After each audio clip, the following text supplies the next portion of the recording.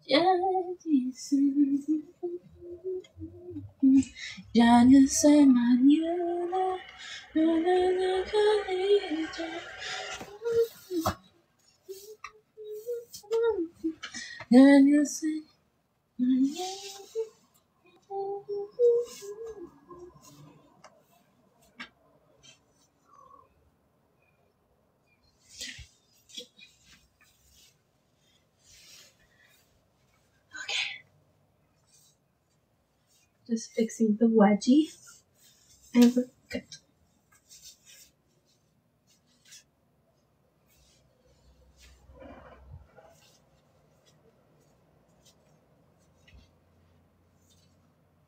Let's change the top.